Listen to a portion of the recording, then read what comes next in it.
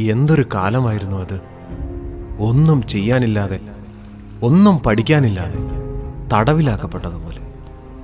പക്ഷെ അതിനിടയിലാണ് അന്നോളം ഞാൻ അത്ര കണ്ട് ശ്രദ്ധിക്കാതിരുന്ന ഒരാളെ ഞാൻ അറിഞ്ഞു തുടങ്ങിയത്. ഇപ്പൊ അവനുമായിട്ടാ എന്റെ കൂട്ട് നസറായനുമായിട്ട്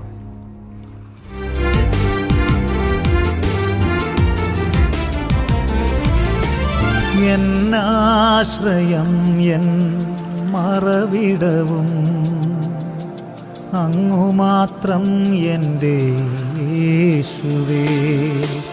എന്നാശ്രയം എൻ മറവിടവും അങ്ങു മാത്രം എന്റെ യേശുവേ.